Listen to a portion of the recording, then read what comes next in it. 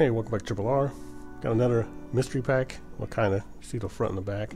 But I grabbed this because this cover is kind of, to me, the, most iconic Magneto cover. It's one of those, I think, what, 90s, you know, number one collector's edition that they, like, mass-produced. But, so this is on the front, and the Batman was on the back. So I got two decent comics, I think, at least. So, for six bucks, think these used to be $4.99, but now that is. Let's open it up, see what kind of mess we got. Hopefully it's not like the the usual, where it's just the one or two good comics and the rest are kind of eh.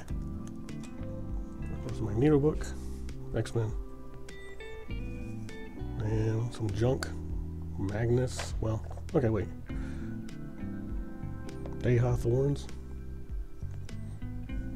Not a bad cover. That might be better. Never heard of it. It's a Dynamite comic. Issue zero, so probably free. Oh, look at that. Warlock Infinity Watch. Not mad about that. With a uh, plastic cover.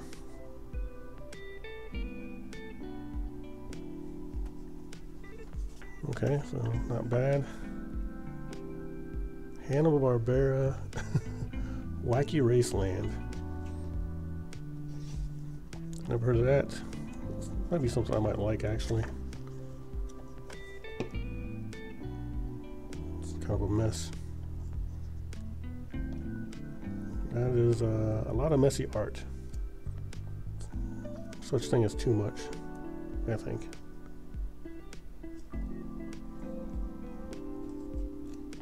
Because it's Hanna-Barbera trying to be cool, trying to be edgy. Oh man, the cover's okay, I guess.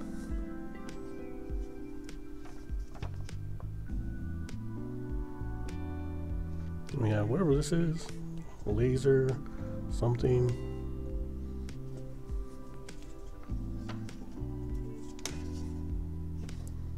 Yeah, so junk, in my opinion. What in the world? We have the Rush Zone. This is like a, like a little graphic novel kind of thing. Super Bowl edition. Guardians of the Core. See, the Hanna-Barbera art should have been like this, I think. Sometimes it's good to go with what you know. I'm not really mad about that. Like, kind of a nice book that is. Then we got the red team. Don't know anything about that. Not a bad cover. And Authority. Don't know anything about this either. Kind of like Cthulhu looking monster on the cover. Huh, okay. Uh, Trinity. Superman, Batman, Wonder Woman. Batman on the cover. So this one, uh, this wasn't bad. Oh, one more. Forgot. Of course, this is also kind of like a mini, uh,